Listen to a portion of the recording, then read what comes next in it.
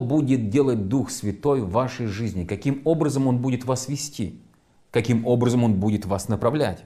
В одной из предыдущих своих программ я говорил о том периоде, который случился в нашей семье в 2016 году, когда мне сделали одну операцию онкологическую, и потом был перерыв небольшой, и потом в сентябре вторая онкологическая операция. И я рассказывал ситуацию, когда уже тогда, на тот момент, я потерял сон и практически не спал несколько месяцев, и моя жизнь она просто превратилась в мучение. И тогда наша семья вместе с другими